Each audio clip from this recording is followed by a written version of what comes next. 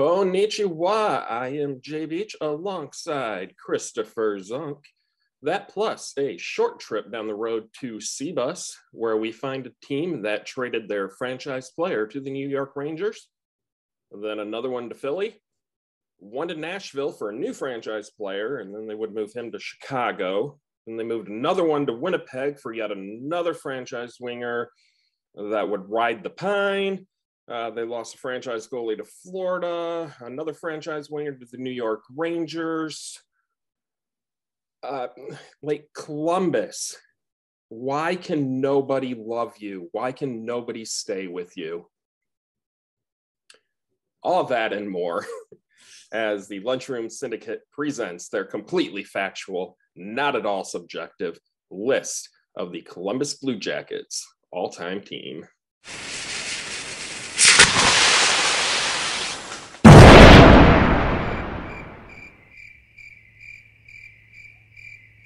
If this is the first time you are joining us for one of these videos, or you just need a refresher on what the hell we are doing, we are going through and deciding the best of the best for the Columbus Blue Jackets, putting together a full lineup that is four left wingers, four right wingers, and four centers, three left handed. Uh, how about you give it a shot here? Why don't you tell them what we're doing, Christopher? Oh, okay. Did you? Did I, I don't know if I screwed that up. You had a look on your face like, what are you doing? And then I just lost where I was at. Uh, yeah, no, I, for some reason, thought there was only three centers. And then I realized I fucked up. I was like, oh, never mind. I'm an idiot. well, one of us fucked up. Take two. If you're new or you need a refresher of what we're doing, we are picking the Columbus Blue Jackets all time team, a full team. Basically, what do we mean by that? Well, we have four left wingers, four right wingers, four centers, not three like my head said three defensemen, both left handed and right handed, three each, and two goaltenders. We tier these off into three different colors, depending on the team, usually team colors. Uh, for the Columbus Blue Jackets, we have a white tier, which is the bottom of the barrel, so to speak, on these lists, which is they're they're good players, but not really all timers. We'll have red tier, which is pretty good players, definitely in the conversation, but not quite to the elite of the elites and the blue tier, which is the no brainers, no doubt, all all timers. That's correct. And how are we deciding who's better than who? Well, whatever the fuck we feel like, quite frankly. Whatever the fuck we feel like. It's it's really up to us, and that's what makes this factual and not subjective. Exactly. We each have our own criteria. Our criteria is made up of we, we, we really haven't established uh, a set of rules yet. Will we do it? Maybe. Have we done it yet? No. We just go with what feels good. Oh, yeah. Most of the time, we keep our pants on for that. Today's one of those for me. wow. I'm just gonna let I'm just gonna let it uh was gonna say let it hang, but I'm just gonna let it be a mystery for everyone whether I'm wearing pants. While you're hanging there. While I'm hanging. Anyway. The first thing that we do here is we determine who the face of the franchise is. This is an absolute no brainer here for the Columbus Blue Jackets. Number 61, Rick Nash. What's so great about Rick? What isn't great about Rick Nash, quite frankly? 289 goals and 674 games played, almost a little bit less than a point per game play. He had 547 points. Big body, played the body well, physical player. Uh, just was an absolute star, the first true star of the Columbus Blue Jackets, the biggest name uh, the number one overall pick. This is a guy that when we used to tier off lists back in the mid to two mid to late two thousands, we would put him in the same tier as Crosby and Ovechkin, and make very valid points why he was just as good as those two. If that tells you anything. Yeah, we had.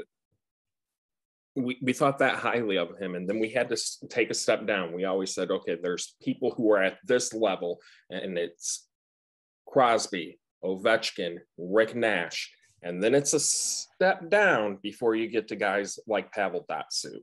You know, another thing I always liked about him was he was always a class act despite being on some just god awful Columbus Blue Jackets teams and still being able to produce the way he did. And you know, they only made one playoff appearance with him, but it definitely wasn't his fault. Where what position would you like to start off with?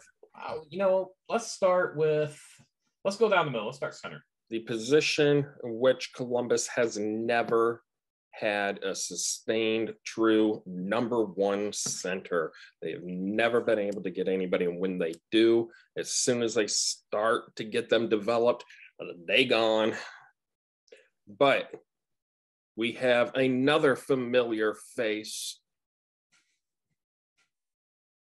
The lunchroom syndicate love child, Kris Beech. That motherfucker. From Nashville to Columbus still doesn't know how to spell his name, but he did put in substantially more time with Columbus than he did Nashville. He did. I mean, Five goals, four assists, nine points in 16 games. That's a pretty good point per game average for a guy who couldn't play more than 16 games. You know, I'm I like looking at that. I'm like, why did he play more than 16 games? That's not horrible by any stretch of imagination. No, that point per game average is just as good, if not better, than the rest of the names on here that are all time. Yeah. Poor, poor Kris. If he could just learn how to spell, yeah. he could he could have been a franchise player. It's true. Dumbass. Who else are we looking at here in Columbus? Uh, all right. Outside of Kris Beech, we have Brandon Dubinsky, Pierre Luc Dubois, Sergey Fedorov, Boone Jenner, Ryan Johansen, RJ Umberger, and Alexander Wennberg. Uh, Brandon Dubinsky played played a little while in Columbus, uh, 430 games, 217 points, uh, 448 penalty minutes. Um, solid player. I mean, uh, when you're talking like normal all time teams, he's probably not really in the discussion, but for Columbus, he certainly is. Um, like for most teams, he's a white, but maybe for Columbus, he might be bordering on the red. A good player. He deserves to be mentioned mm-hmm. for the Blue Jackets. Not, he's not an all time great. He, he's white tier for me. Uh, Pierre Luc Dubois, one of the many potential franchise guys in Columbus that they get rid of. Um, got rid of Pierre Luc Dubois to bring in Patrick Laine. Um, so we'll see where he's going to fall on this list later on. But Pierre Luc Dubois, uh, start of his career, so don't really have too much time to shine or blossom.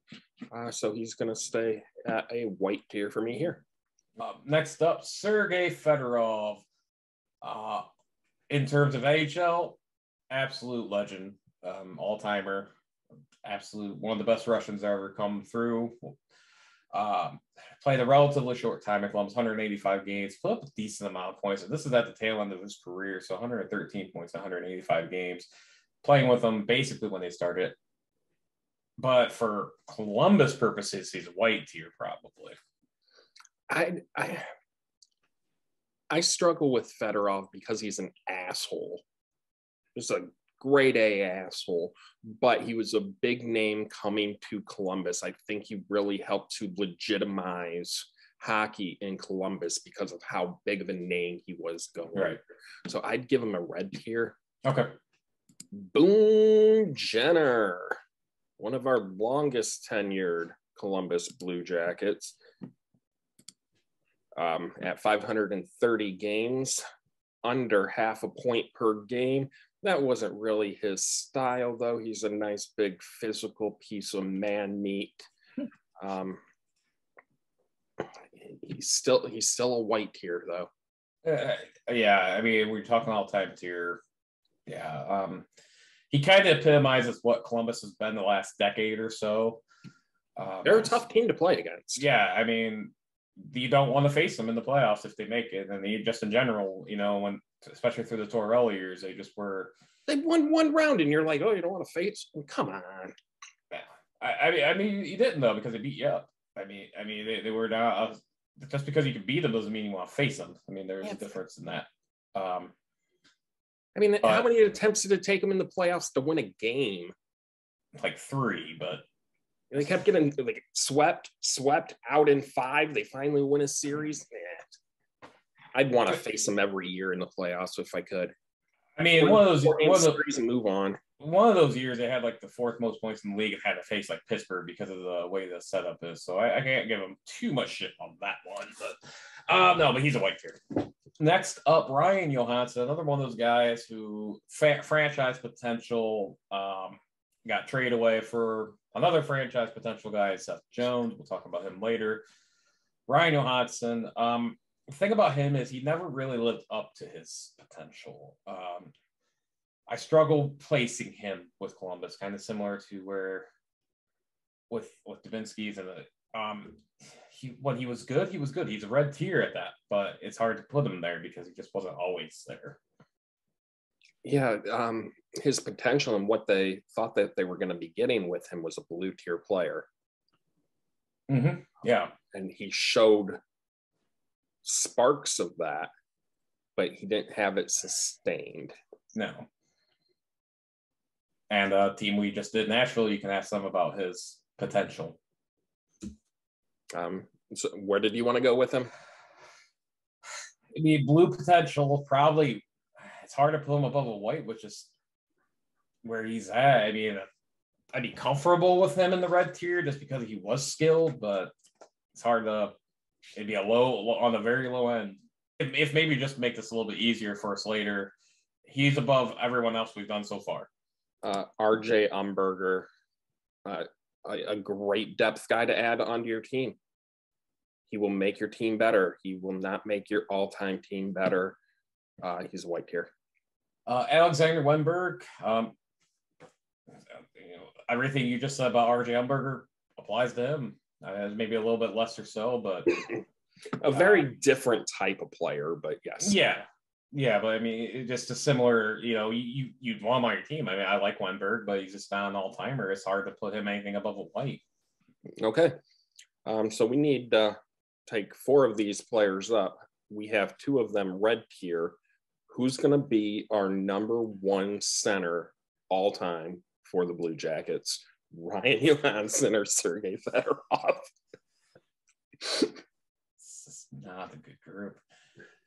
I, I think it'd be a bit of a disservice to the franchise to put Fed, I don't know. Fedorov probably meant more because, like you said, he legitimized hockey in Columbus. And So Boone, there's a Jen- gate. and Boone Jenner and Ryan Johansen was a disappointment. He didn't live up to it. So Yeah. Fedorov number one. Yeah, I guess so. Fuck. Ooh, this ain't Detroit Sergei Fedorov either. And Ryan Johansen at two. Um, I have a name for three in mind. Um, I mean, you got three guys that are basically the same fucking play. I mean, same in terms of stats. I mean, Dubinsky, Umberger, and Lindbergh, uh, point wise at least, and point wise in games. Dubinsky has has.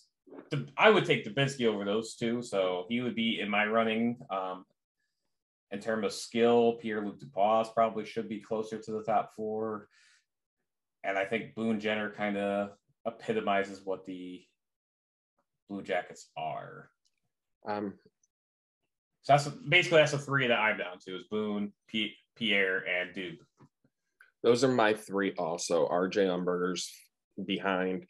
Wennberg, I just know too many Blue Jacket fans that do not like Alexander Wennberg, who would disappear for long stretches of time.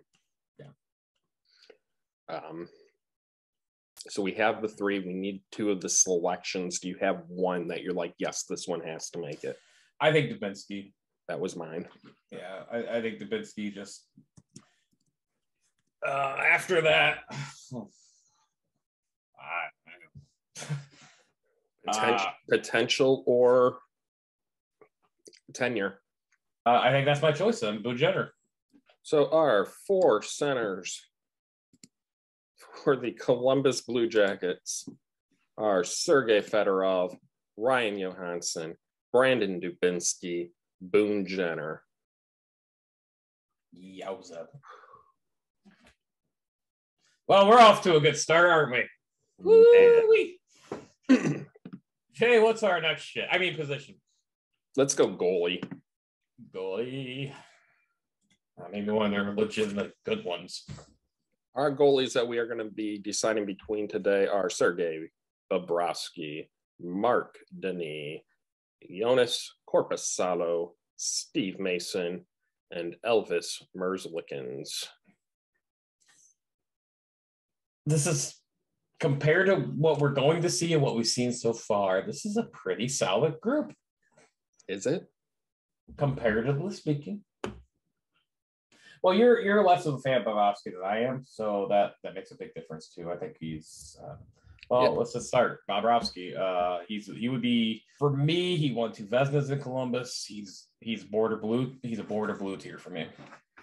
I agree that he's blue tier, and I also agree that I wasn't a huge Bobrovsky fan.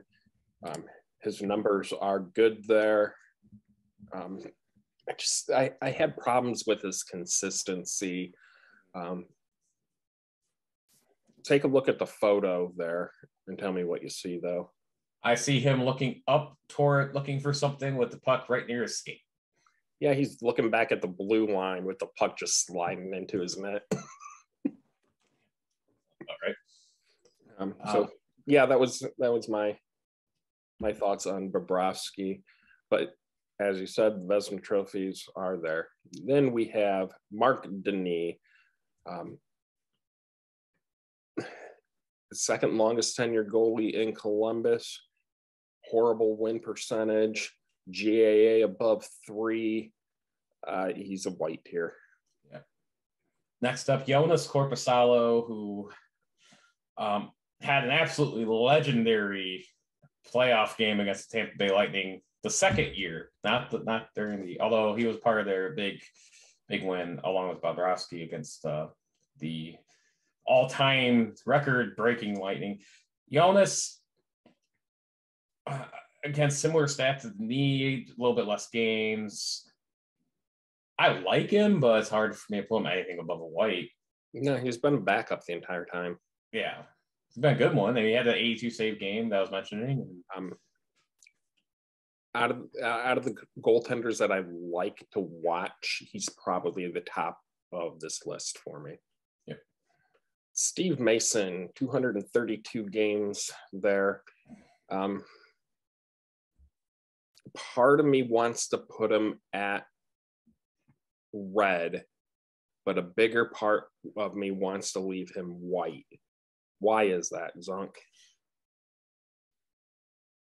He's, I, I feel, see, see, oftentimes for me, when you talk about Sergei Bobrovsky is how I think of Steve Mason because I thought Bobrovsky was more consistent than you give him credit for. Steve Mason is the epitome of hot and cold. When he was good, he was good.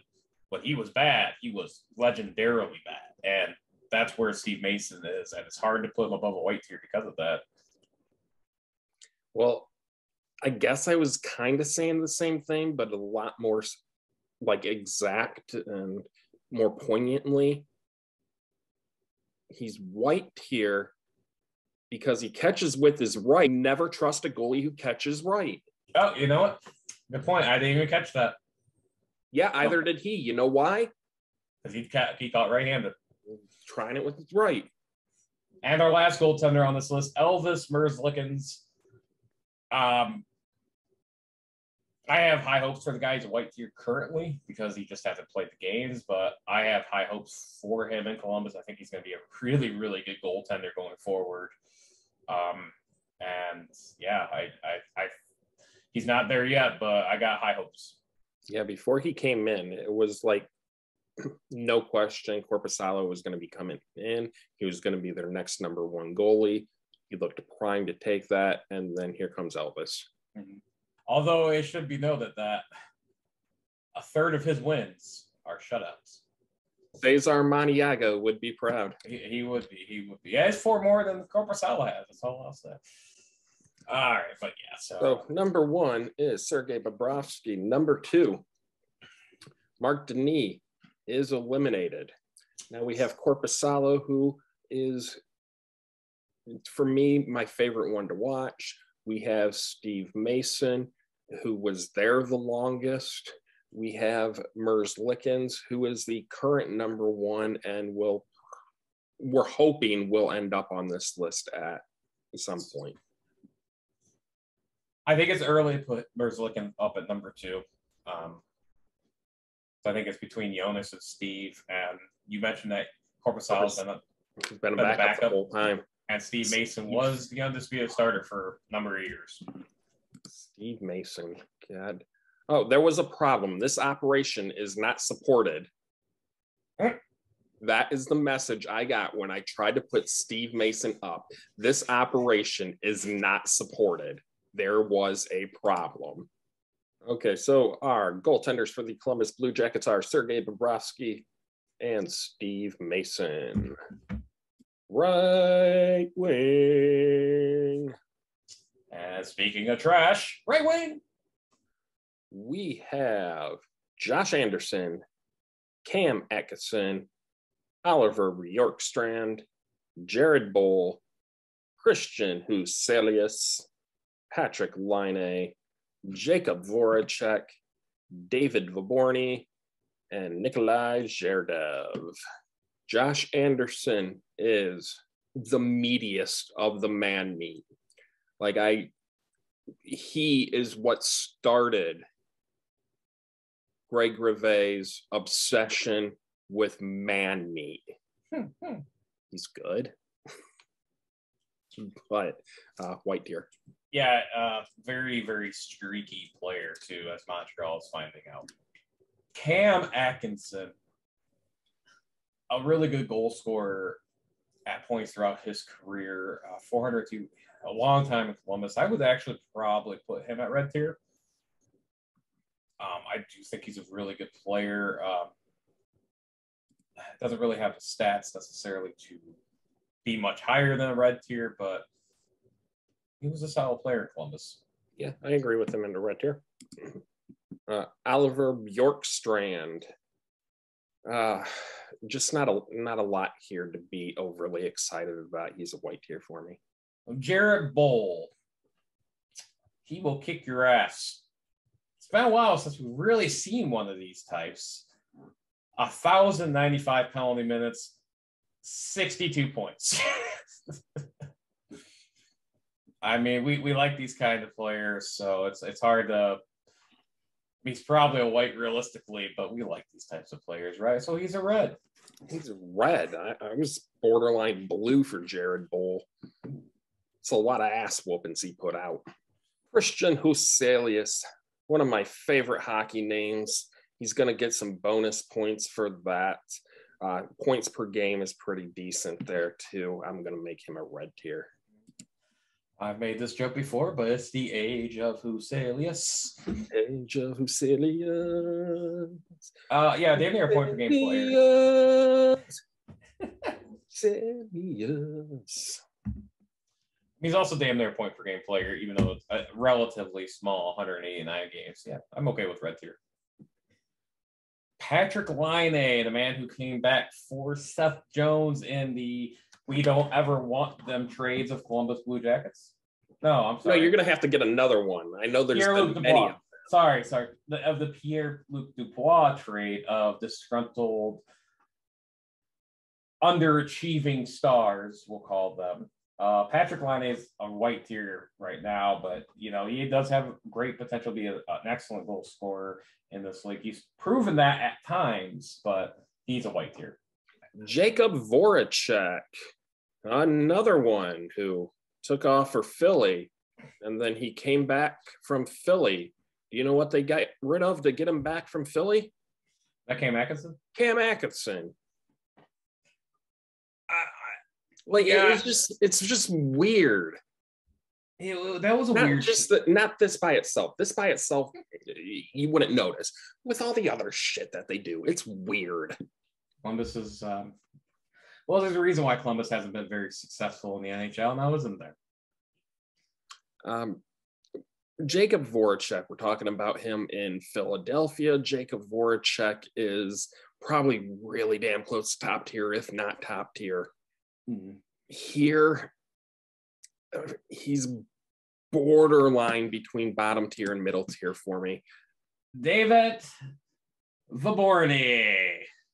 It's not a name that that pops off. Uh, 317 games. He was there for a long time, so the fact that the name doesn't re- register with me is kind of kind of funky. Um, so for that reason, he might be a white, but he does have a decent amount of points, so he's probably arguably a red. I'd probably go red tier for him. And then finally, we have Nikolai Zherdev. What happened to Zherdev?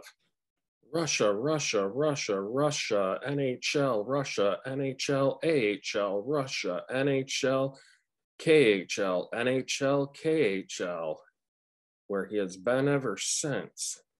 Strange players. I think his stats almost say red, but who white tier for me though. Okay. Well, we have no blue tier, so no immediates going up. So we have a decision to make because we have five red tier players going up for number for four selections. Mhm. Who's the first one that you're taking up? Uh, Cam Atkinson. This is my number one. Yeah. Um, do you have a number two in mind? Uh, it, for for me, it's not really. I, I think you make a case for all of them. I, th- I think Voracek, as weird as it sounds, might be the weakest of the cases, but you put. Um, I do agree that Voracek has the weakest case here for it. So we're looking at Kristian Huselius or Jared Boll. Which order? Uh, I would say Huselius and Boll. And our right wing selections for the Blue Jackets are Cam Atkinson, David Vyborny, Christian Huselius, and Jared Boll. Positives here, no white here. No white tier, much better than the center core. Yeah, yeah. Let's finish off the the front end then and go with the left wing side, where we have Nick Foligno, Scott Hartnell, Rick Nash, Artemi Panarin, Geoff Sanderson, Jody Shelley, Ray Whitney. Possibly the best group on the team. Yeah, yeah, this is actually a really solid, solid group, all things considered. Uh, starting with Nick Foligno, who was the captain of the Columbus Blue Jackets for quite some time. It felt like seemingly forever up until recent, up until a couple years ago. Um, what last year or the year before. Um, 599 games played. I, if you're talking all time tier, it's hard to put a Nick Foligno as a blue tier, but for Columbus, he's definitely a high end red at minimum. I agree with the high end red. He's a really good leader for the team. Mhm. Um, and you can see with his two black eyes there that he will continue playing through shit. Yes. Uh, real tough, tough guy. Um, real solid player. They most teams are going to be real happy having him on, but we're talking all time, and I don't think he's quite there. Um, Scott Hartnell is the next player up. Um, and I'm just glad that this is a strong position because I do not want to see Scott Hartnell on two all-time teams. I can't believe he was on one. He's still going to probably come up for another team yet, but Who was he on before? I don't remember. Nashville. Oh. Uh, yeah, no, white tier, fuck him. Uh, Ah. Rick Nash, we already know, is blue tier. Artemi Panarin, yeah, he's a blue tier for them, but it's just I get he didn't want to be there, and that's a big part of it. You know, if he doesn't want to be there, it doesn't matter what contract you give him. But damn, that's one that they should not let get away. Uh, Geoff Sanderson is a solid red tier. Just what a great player. What a great guy. You know, I met Geoff Sanderson, Did you? Play It Again Sports. Ah, nice. I think I think I remember you telling me that story. Now I think about it. Yeah. He's shopping at it Against Sports for you skates for his kid. He's an NHL player. Oh, yeah, you know, Play It Again Sports. Our newest sponsor here on the Lunchroom Syndicate. Uh, Jody Shelley with two women named. You damn straight he's going to punch someone in the face a thousand penalty minutes in 380 games. Oh my God. Um, 29 points. That he did somehow score. I mean, I mean, if that doesn't scream red tier, I don't know what does. Um, I, I'm disappointed with this. because he is red tier here. And I don't think he's going to make this team. If I could take Jared Boll or Jody Shelley, I'd take Jody Shelley for the Columbus Blue Jackets. Blue Jacket fans loved Jody Shelley, loved mm-hmm. it. Um, but he's probably looking behind. Well, not probably. He's looking behind Geoff Sanderson and Nick Foligno. Ray Whitney, another really good player. Um, didn't have a long tenure, uh, so that's going to keep him away from the blue tier here for me. Uh, go red. Well, in those 150 games, he wore the C at least at least at some point. So gotta give him that. I didn't realize he played for Columbus, so that should also tell you everything you need to know about his tenure in Columbus. A franchise player doesn't always mean the number one. Are we taking our Artemi Panarin with the above a point per game average, the only player in franchise history to have a point per game in a, in a season, and he's done it two consecutive seasons. Uh, set no. the franchise record, and then he broke his own record the next year. Do we take him above Rick Nash? No, no, we don't. No. I, I like the case to be to be had there, but if he if he spent more time there, I, I, think if he like three, four, five more years and kept that pace, or, or even close to it, relatively close, I think he would have a case. But it's fucking Rick Nash. Yeah. Goddamn Rick Nash. And gave it away earlier. Uh, Jody Shelley's not going to make it. Um, I'd take Shelley over Ray Whitney. So Ray mm-hmm. Whitney's not going to make it. Now we have Geoff Sanderson or Nick Foligno. Mm-hmm. Who do you like for the number three selection?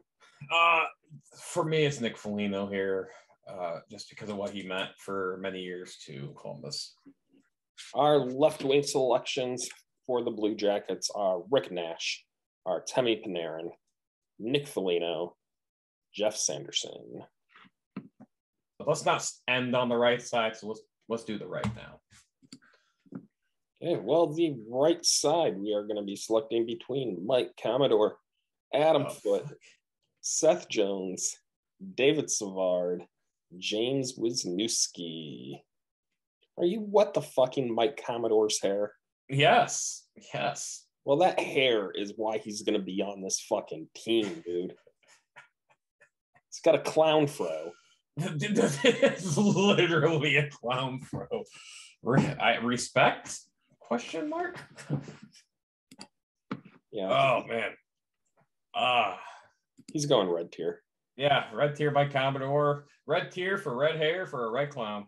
Uh, Adam Foote. No idea he played for Columbus. None yeah. at all. Really? Yeah. No, no, none at all. So, uh, um, a great player in his career. Um, yeah, he's a right white tier for Columbus. Yeah, I think another one of those guys that they brought in to help legitimize uh, a franchise early on. Had the captaincy there for a little bit with them, but yeah, he's a white. Yeah. Seth Jones. Seth Jones, who they got for Ryan Johansen in a franchise prospect for franchise prospect trade, who played extremely well for Columbus one of the best defensemen in the league while he was there. He's a blue tier. So, of course, what did they do? Trade him. Traded him. Get rid of him. Fuck you. There is a very weird stigma against him that I just don't understand in this. With with there's a lot of people, fans that just don't like him. I'm not saying Columbus fans, just me in general. Just you just look at social medias and stuff, which I know you don't do a lot, which I don't blame you. There is a lot of hate towards Seth Jones and Really? I, I, I don't. Yeah, a lot of hate. There's a lot of people who don't like him. Think he's highly overrated. I don't agree with that assessment at all. But David Savard, uh, almost 600 games played. Yeah, that's good. I'm fairly confident in saying he's the longest tenured Blue Jacket defenseman. Yeah, probably. That's about all I can really say about him, unfortunately. So be, eh, he's a white for me. White tier. I mean, if he's red for you, that's fine. I can understand it. So ah. there's only been three players to get fi- at defense to play 500 games for him. He's at almost 600. I I, I give some respect for the tenure. Yep. Yeah, fair, fair. So Uh, Sean Wisniewski, uh, a solid defenseman, deserving of a mention on here, but that's it for me. White tier. Okay, All so we have our number one going up, Seth Jones, and now we have to decide between tenure or Clownfro. uh, ten years, nice. Uh, five hundred ninety-seven games played. Um, I lean towards that over over clowns. And that leaves us with one spot left. Oh, lefty. One spot left, lefty. Left, left, left, left, left, left, left, left. I bet it's the left. Here on the left side, the left defensive side, we have Jan Hejda, Jack My Johnson, Rostislav Klesla, Marc Methot, Ryan Murray, Chris Russell, Fedor Tyutin, and Zach Werenski. Uh, the first name on here is Jan Hejda. Solid defenseman. I liked how he played, um, but nothing really standing out for an all time white tier. Next up is uh, Jack Johnson, uh, who we always liked. We've always been relatively big fans of, and you know we always put him on team. I think he, he's another one of those defensemen that gets a lot of shit. Yeah, I don't. And I know analytically he's a bit. I know I know he's not an analytical darling, but I think I always thought he was a pretty solid defenseman. Um, you know, to me, he's a red tier on for Columbus. I Yeah, know he doesn't. I, I thought he had maybe more points than he did, but you know, I, I thought he thought he was fine. he's he's a real solid defensive defenseman. Um, and again, we always put him. He was on our Johnson and Johnson pairing. Eric Johnson. Jack my Johnson and Eric my Johnson. Rusty Klesla. The closest to competition Rick Nash would have had for face of the franchise. Huge, huge fan of Klesla. He is blue tier. Marc Methot, who here looks maybe like he's picking teeth out. Uh solid defenseman defenseman as well. Uh just not a lot to say beyond that. So for me, he's a white. Um, Ryan Murray, one of those guys who, you know, was a top prospect that just never panned out. And I don't know how he stayed on Columbus. Shouldn't it, they have traded him Uh, for like another prospect that wasn't going to pan out by now? Like, I mean, in fairness, formula, guys. It was a second overall pick, by the way. I thought I feel like he's top 10, Yeah. but he was traded for a fifth round pick. Ugh, well, I think Columbus got their got value out of that number two overall, huh? Uh next up, Chris Russell, 208 games played. He's nothing special here with me. For me, he's a white tier. Fedor Tyutin, the one that I forgot about with over 500 games, 553 games. Solid offensive contribution, solid defensively. I'd go red tier for Fedor Tyutin. I would agree. I I, I liked it when he played there. And then uh, last up on the left defenseman side, uh, Zach Werenski. For me, he's a blue tee. He's a fucking great. I think he's a great defenseman. Um, he's probably getting too good though. I'm sure he's going to be traded soon. You have an argument uh, for Werenski over Klesla for first? I think Werenski's a better player, but like you said, in terms of what you think of Columbus, I think Klesla should be number one. Jack Mike Johnson or Fedor Tyutin? For me, it's Jack Johnson, but Okay. I, I, I think you can make a case for two for Tyutin. I am a bigger fan of Jack Johnson's game myself. And on the left D side, we have two blue tier players. We do, we do. Rusty Klesla, Zach Werenski, and Jack Mike Johnson. Our lineup for the Columbus Blue Jackets at defense, our first pairing, Rusty Klesla, Seth Jones. We have Zach Wierenski, David Savard, Jack Johnson, and Mike Commodore. Back in net, Sergei Bobrovsky and Steve Mason. Who do we have up front? In the fourth spot on the first line, we have Rick Nash, Cam Atkinson, and center by Sergei Fedorov. Second line, Artemi Panarin, Brian Johansen at center, and David Vyborny on the right side. Third line, Nick Foligno, Brandon, Brandon Dubinsky, and the age of Huselius himself, Kristian Huselius. We have Jay Off, Sanderson, Boone Jenner, and I'm gonna kill you, Jared Boll on the fourth line. This is uh this is bad. Yeah. For all time standards. And it's what we expected. Yeah. Uh, I mean, not even just all time standards. If you put this all time team out on the ice competing, I, I still think they're like a bubble team against regular NHL teams. Their all time team, I think, I, I don't think is necessarily like a division winner in today's NHL. I think you have enough here where I think they would be closer to a top end team. Because you have prime Rick Nash, prime Artemi Panarin, which helps. Um, you're I'm bigger on Bobrovsky than you are. Um, Seth Jones, I, I, think it would be a good team. I, I think I, I, give them a little bit more credit than Bubble, but the fact that we're even having a discussion saying that like they're nowhere near the top of a current NFL standing is all you need to say. It's not even about bubble team. It's oh, I'm not even sure if they're the best team in the league. If this was a, a team in the league, mm-hmm. is telling.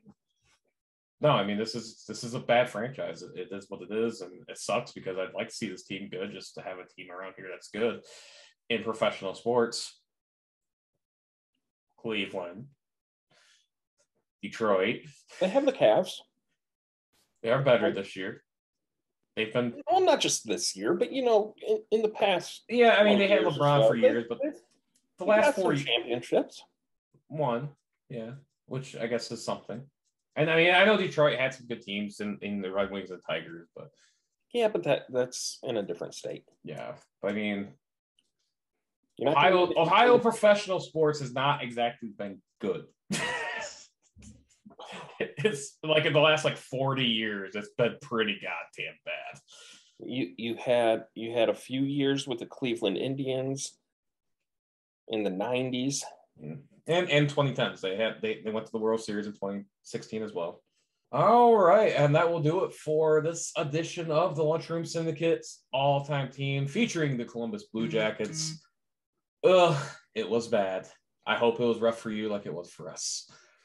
Uh, I have been Christopher. That I believe has been Jay. Most of the time. Most of the time. But uh, thank you for joining us. Until next time, deuces. Deuces.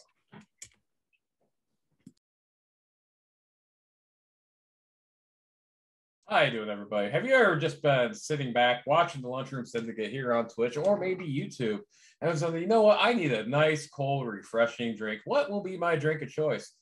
Well, Christopher here with Lunchroom Syndicate says, drink a Gatorade. Electrolytes to help you keep feeling fresh all day long. Is it a deodorant? Is it a ball powder? What's